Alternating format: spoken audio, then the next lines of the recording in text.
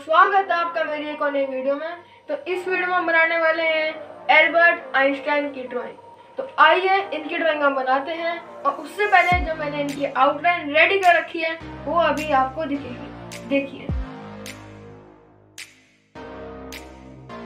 तो गाइस ये थी आउटलाइन। तो आइए अपनी ड्राइंग को शुरू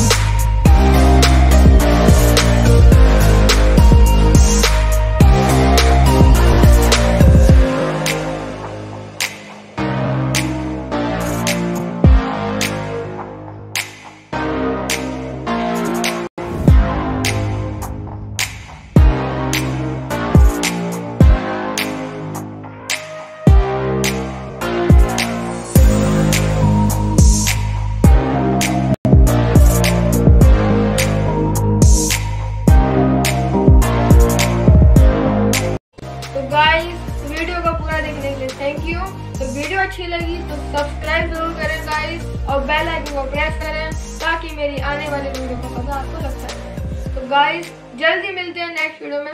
तब तक के लिए